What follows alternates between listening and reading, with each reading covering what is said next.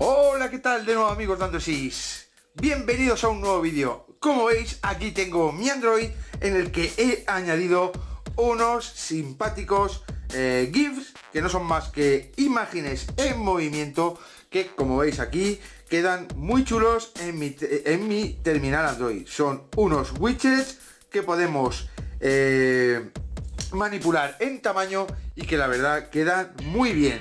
Si quieres saber cómo conseguir esto en tu terminal Android, te aconsejo que no te pierdas detalle de este vídeo.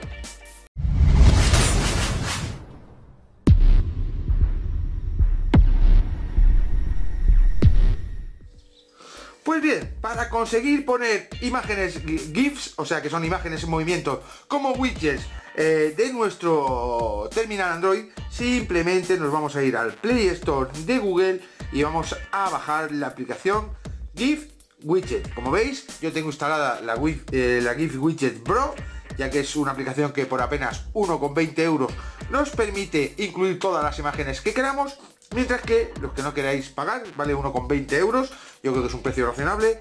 Los que no queráis pagar tenéis la opción, la versión Lite, que nos permite un par de widgets eh, en movimiento. Uno de los que nos ofrece la aplicación y en plan de los que descarguemos nosotros de internet, o sea, los, GIFs que tengamos eh, descargados en nuestro terminal Android, eh, vamos a poder incluir más de uno. Ya os digo que yo recomiendo la aplicación Pro eh, por su tremenda funcionalidad y bueno, una vez descargada simplemente la vamos a abrir y nos indica el proceso a seguir para conseguir esto. La aplicación ya está instalada, pero desde ella, desde la propia interfaz, no vamos a poder hacer nada. Para poder colocar estos simpáticos widgets, que son GIFs en movimiento, como veis, aquí tengo el de Bob Esponja, aquí el del Bar Simpson y aquí el de Come Cocos, simplemente vamos a tener que clicar en la pantalla de nuestro Android, ir a la opción Widgets, y seleccionar el widget de eh, GIF, ¿vale? GIF Widget Pro. Clicamos, nos vamos a donde queramos poner el citado widget, por ejemplo voy a hacer una pantalla nueva y ahora nos sale esta interfaz donde nos da la primera opción para escanear el dispositivo y encontrar los, eh, las imágenes GIF que tengamos en el dispositivo. La, la, la, opción de buscar un GIFI que sería de los que nos incluye la aplicación, que la verdad están muy chulos. De aquí he sacado yo el de Bob Esponja, he sacado el de Bar Simpson y como veis tenemos muchos disponibles para todos los gustos. Por ejemplo, vamos a ver si encuentro alguno chulo.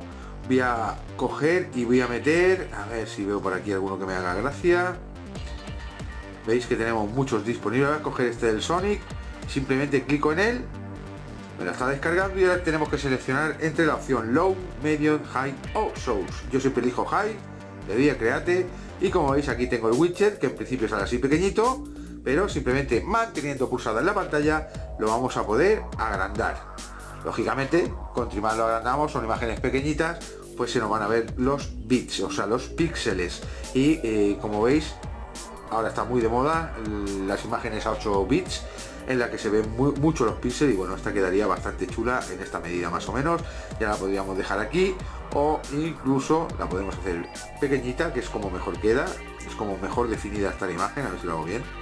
Es como mejor definida esta imagen cuando la hacemos así pequeñita y ahora esta la podría coger y arrastrar a otra pantalla. Si me deja aquí, un momento, que coja bien el widget. Ahora la cogemos y la arrastramos a la pantalla que nos interese. Como veis, se ha hecho a la medida del hueco que tengo.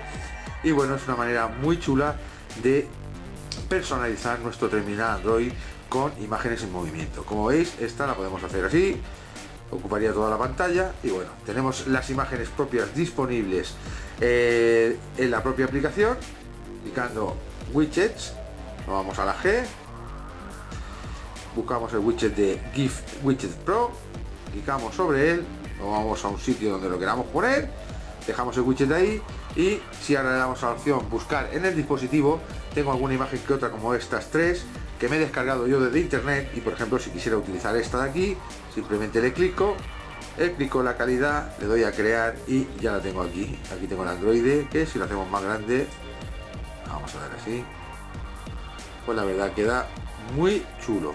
Como veis, una manera diferente de personalizar nuestro Android. A mí me gustan estas así pequeñitas, que las puedes poner en cualquier lugar. y la verdad quedan muy chulas.